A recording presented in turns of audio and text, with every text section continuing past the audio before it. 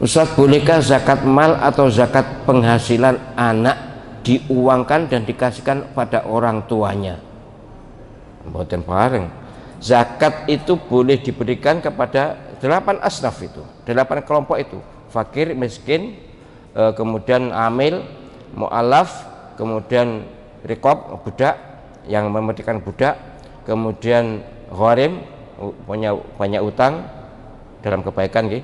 kemudian sabilillah orang yang ber, eh, berjuang di jalan Allah subhanahu wa ta'ala. Kemudian ibnu sabil orang yang e, berkelana untuk mencari kebaikan untuk mencari ilmu umumnya. Delapan itu. Dan ini pada orang tua. Orang tua dan anak tidak boleh mendapatkan harta zakat. Orang tua penjenengan punya zakat. Tidak boleh diberikan pada orang tua nah orang tua miskin beri selain zakat.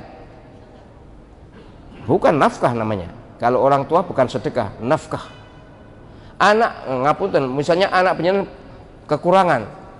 Penjenengan punya zakat banyak tidak boleh diberikan anak. Anak harus diberi harta penjenengan selain zakat ini yaitu nafkah.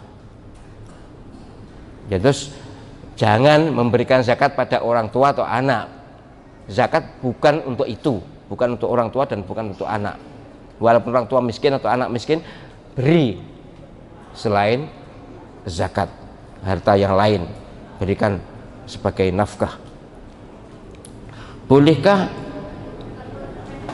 dikasihkan pada nenek yang beragama Nasrani beragama lain gitu aja tidak boleh. Zakat itu tidak boleh diberikan kepada non muslim kalau non muslim yang mu'alaf ya boleh. Tapi kalau ber, masih beragama lain tidak boleh. Nenek wah apalagi nenek. Nanti orang tua dan anak tadi nenek juga butuh sama tidak boleh. Ke, ke atas ya. Orang tua ke atas atau anak ke bawah itu tidak boleh diberi zakat. Mbah tidak boleh Mengapa? Karena mereka jika miskin menjadi kewajiban yang kaya dari anak atau cucu atau ya anak atau cucu atau orang tua ya.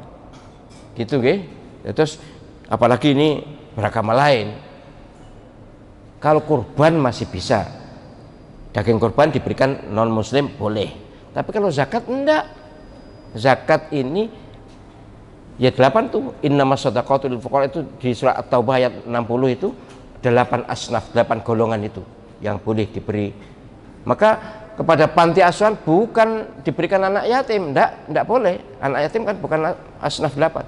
Pengasuhnya boleh, pengasuh anak yatim sebagai atas nama sabilillah ya, boleh.